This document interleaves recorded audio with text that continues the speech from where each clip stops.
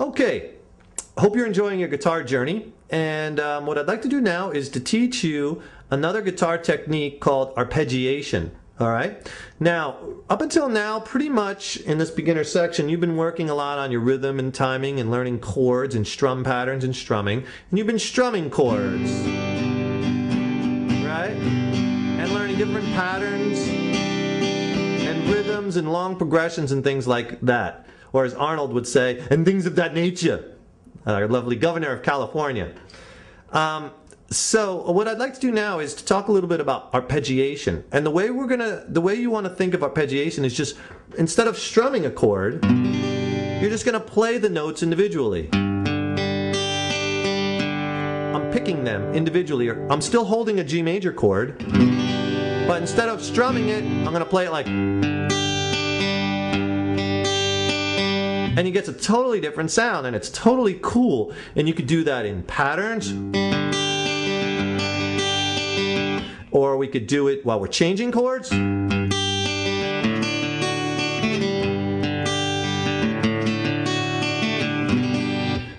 So many different ways you could do it, and this is going to open up the doors to more ways that you can play kind of what you learned already, what you know already, but capture different sounds. And um, it's a beautiful technique, and you hear it now that you know it, you'll be like, oh, they're arpeggiating. Now that you're in tune to it, you'll be like, oh, I hear that all the time. So let's just take some basic, basic chord changes and practice our arpeggiation. And I'm going to show you the first way, just going straight up and down the strings, where you're not going to be really in a pattern. A lot of times you're going to be playing a pattern, like you'll play the G string, then skip over the B to the high E, then to the A, then to the D, and you'll be doing like this on the guitar string, down, up, down, and that's a little bit more complex. At first, let's just go straight up and down with an easy change. First, learn run, then learn fly, like I always say, and this will get you used to it. So let's just take like a basic change like G to D. G major to D major. And on that G major, just use that four finger G that we've been working on. To D major. Okay? Now, on the G chord, let's just take a very easy pattern. Let's just do something like this.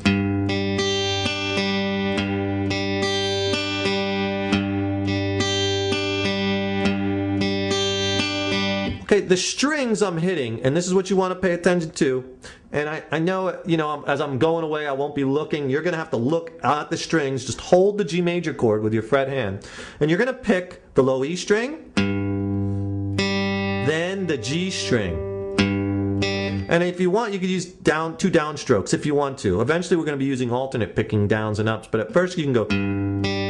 So low E, then skip over the A and the D to the G, then go all the way to the high E string and go up high E string, up B string, and up on the G string. So those three strings are just going up, up, up. High E, B, G. This stays on a G major chord. We haven't moved yet. So here's what we're doing. It's just two downs and then three, kind of think of it as three up. So it's just.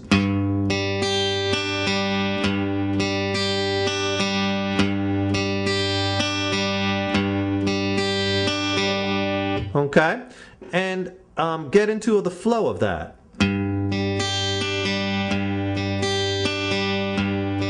Play along. Okay? And then once you're confident with that pattern, which it's not really a pattern because we're really going straight up and down the strings. We'll get to patterns later. Then we're going to switch to the D major chord.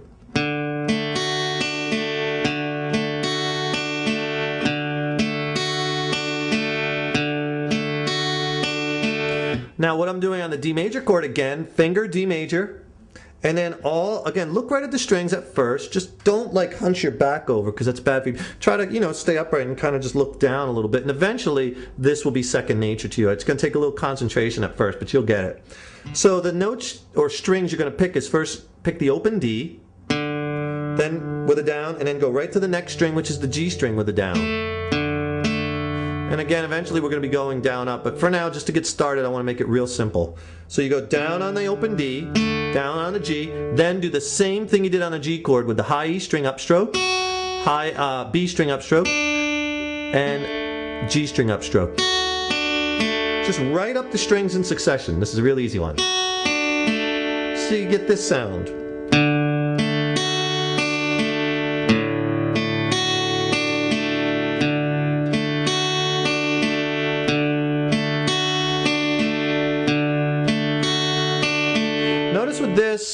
Arpeggiation, you're you're you're once you finger the chord, you're leaving it there, and that's it. And pressing down, you don't have to do anything with your left hand. started, just put your chord there and forget about it. Concentrate about the picking. Right, just concentrate on the notes that you're picking. Don't lean your back too far over, okay? Don't want anyone to get bad backs. So, One thing you might want to mention too, David, is is you you have little pauses which between the picks. right. Really, because do it with without a pause. Big difference. Right, if you if you do it fast, eventually you want to you You don't want that right now. You want like this. I'm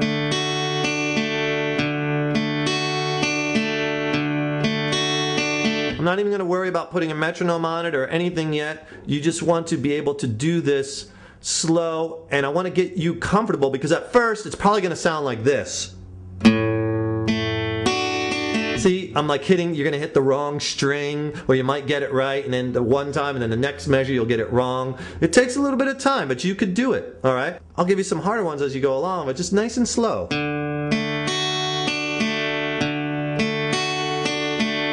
Okay, so then once you got the G and the D, what we're going to do is you're going to change. You're going to do the pattern twice on the G and then switch to the D and then do it twice. Then go back and forth two times each, right? And that's an easy change. You've probably practiced that. G to D. You're to be doing that with your left hand or your, your right hand if you're lefty, your fret hand. But you want to do it slow, so I'll do it super slow. So here's our, our G pattern. Then switch to D.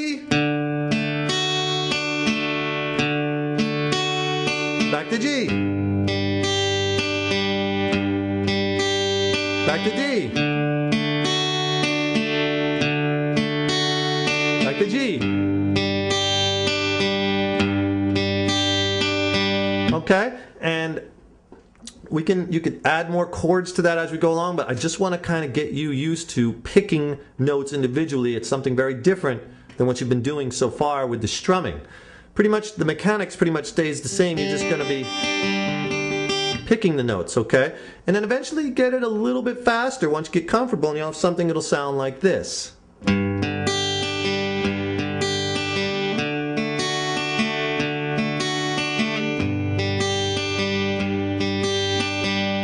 Okay, so practice that. And you could do it with different chord changes. Like, um, let's take C major E minor.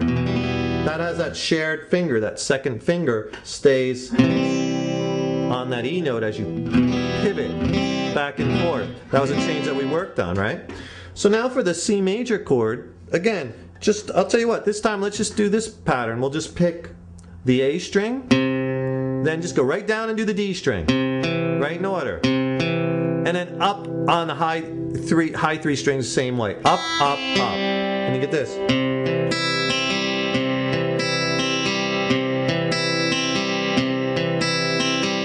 Then change to E minor. And I'm just picking again the low two strings, the low E, then the A. Then on the high three strings, just right up, up, up, up. Up on the high E, up on the B, up on the G. And you get something like this.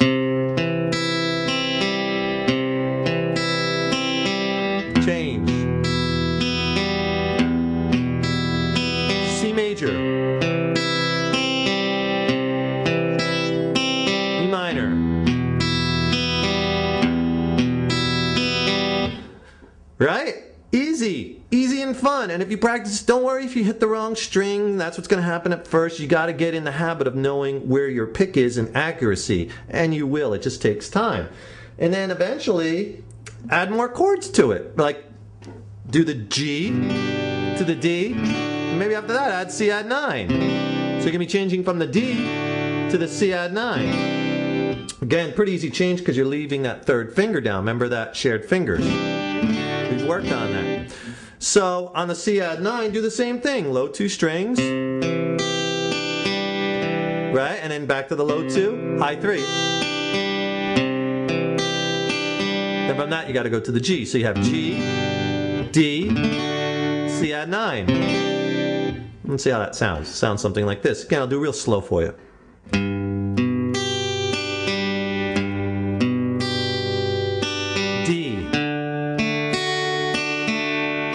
Times each one.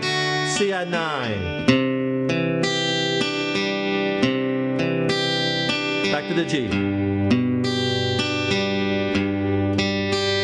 Now it starts over again. So the G you're actually doing four times because the progression would be G, just to play it in time, D, C add 9, G. Then you repeat it.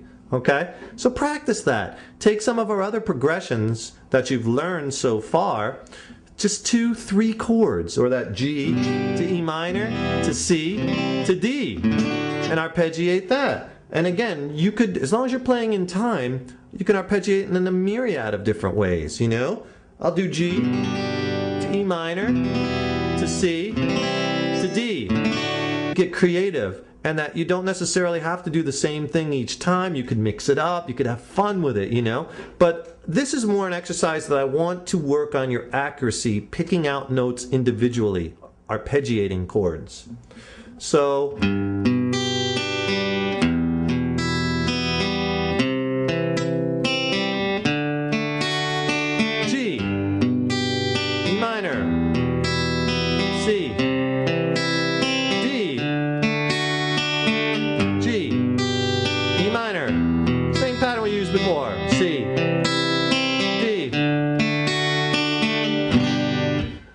That with any chord change you're working on just to practice that arpeggiation.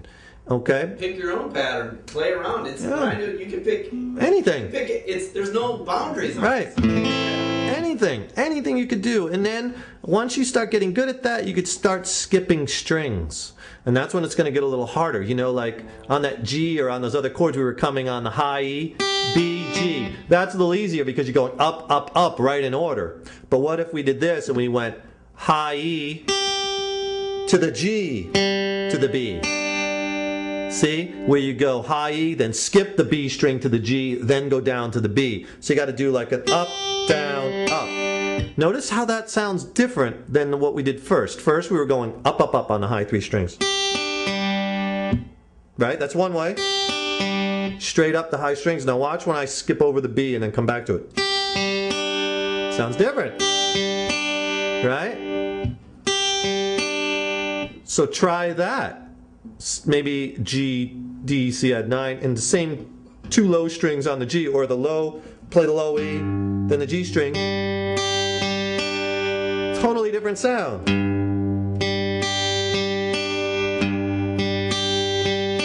Then on the D.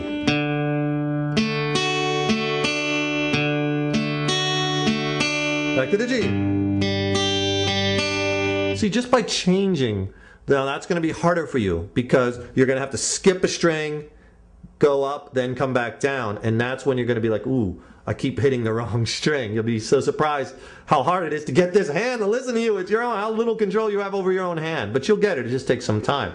So take some of those progressions and work on that arpeggiation. And then as you're listening to your songs and you're learning songs, start to listen to popular songs and you'll start to hear where maybe in different sections of the song they start to arpeggiate the chords and not strum them. And now you'll be like, oh, I know what they're doing there. They're arpeggiating it. Um, um, that's some of the wonderful choices you have on guitar. You know, you have a certain amount of measures for each chord, whether you strum it or arpeggiate it, or eventually you're going to learn adding suspended chords and spicing it up and add chords. That's the beautiful thing. You have all these wonderful choices. So em- embrace that. An interesting side note regarding I learned about 80 or 100 songs this last year, and the arpeggiation in a lot of these songs they may be more, more complicated, but they're consistent for the song. Normally, from what I see, meaning the pattern for a certain song when they use it, it seems like they use that same pattern. Maybe down, down, up, up, down, up, or something. Right. But Yeah, a lot of times it's a right in the song. Like once you learn that pattern, whether the pattern be low E string, A string while you're holding a certain chord, Yeah. low E, A, then maybe high E, B, yeah, G or high E, um, maybe to the D string, to the B string, whatever that pattern is. Tim's right. A lot of times you learn it once and it, it just keeps It's the hook or something. repeating song. Yeah, a lot of times that's the chorus, that's the hook. Yeah. So you just have to learn it once, and it might take a little time, but once you got it, you got it, okay? So this arpeggiation is a very important part in guitar. It's cool. It'll give you a whole new avenue to explore, and it's just going to take some time. Don't get discouraged. You're going to be hitting wrong strings. Your timing's going to be off. That's okay at first. Don't even put a metronome. Don't even worry about it. Just I want you accurate with the strings you're hitting. We haven't been working on that. We've been working on our strumming. Now I'm introducing some new concepts to you, okay? And soon you'll have these um, mastered as well. So keep practicing the right things. Follow these practice regimens. Don't forget to download the written lessons and print those out when it says read the text below the video lessons, there's text below there, and it tells you if you need to download something or, or, or any other lesson that's coincided with that one. Okay? We're very thorough here and very structured, so I want to see you getting the best guitar education possible and using this resource to its fullest capacity. We'll see you soon.